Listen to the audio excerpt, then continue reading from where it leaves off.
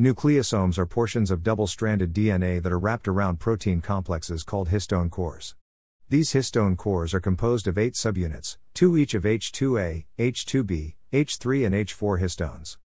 This protein complex forms a cylindrical shape that DNA wraps around with approximately 147 base pairs. Nucleosomes are formed as a beginning step for DNA compaction that also contributes to structural support as well as serves functional roles. These functional roles are contributed by the tails of the histone subunits. The histone tails insert themselves in the minor grooves of the DNA and extend through the double helix, which leaves them open for modifications involved in transcriptional activation. Acetylation has been closely associated with increases in transcriptional activation while deacetylation has been linked with transcriptional deactivation. These reactions occur post translation and are reversible. The mechanism for acetylation and deacetylation takes place on the NH3 plus groups of lysine amino acid residues. These residues are located on the tails of histones that make up the nucleosome of packaged DNA.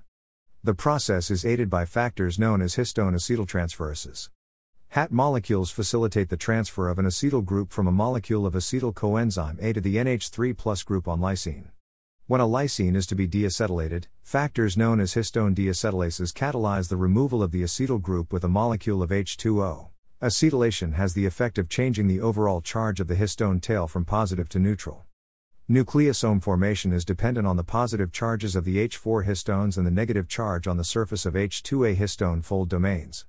Acetylation of the histone tails disrupts this association, leading to weaker binding of the nucleosomal components. By doing this, the DNA is more accessible and leads to more transcription factors being able to reach the DNA. Thus, acetylation of histones is known to increase the expression of genes through transcription activation. Deacetylation performed by DAC molecules has the opposite effect. By deacetylating the histone tails, the DNA becomes more tightly wrapped around the histone cores, making it harder for transcription factors to bind to the DNA. This leads to decreased levels of gene expression and is known as gene silencing. Acetylated histones, the octameric protein cores of nucleosomes, represent a type of epigenetic marker within chromatin. Studies have shown that one modification has the tendency to influence whether another modification will take place. Modifications of histones can not only cause secondary structural changes at their specific points, but can cause many structural changes in distant locations which inevitably affects function. As the chromosome is replicated, the modifications that exist on the parental chromosomes are handed down to daughter chromosomes.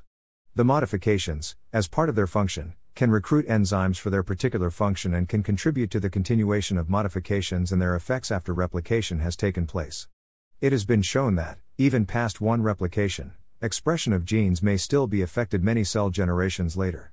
A study showed that, upon inhibition of DAC enzymes by trichostatin A, genes inserted next to centric heterochromatin showed increased expression.